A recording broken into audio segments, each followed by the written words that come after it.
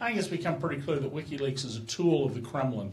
And that's very, very disturbing, particularly since Donald Trump, in my view, and I'll be real straight up about this, Donald Trump is not a loyal American.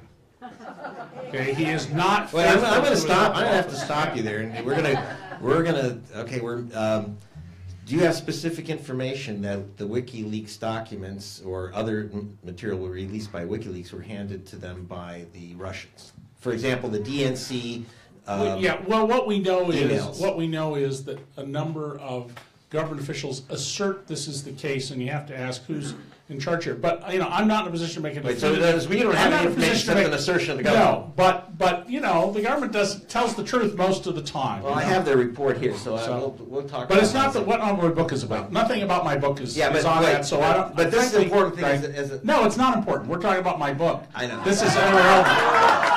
You're, you're, you're getting off into another area that has nothing to do with my book.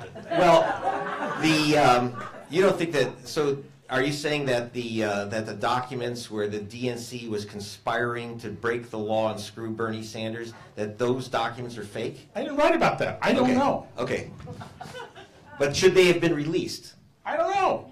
Even if, even if it was, uh, even if it was, even if it came by Putin?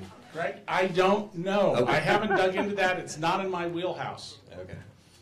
Very good.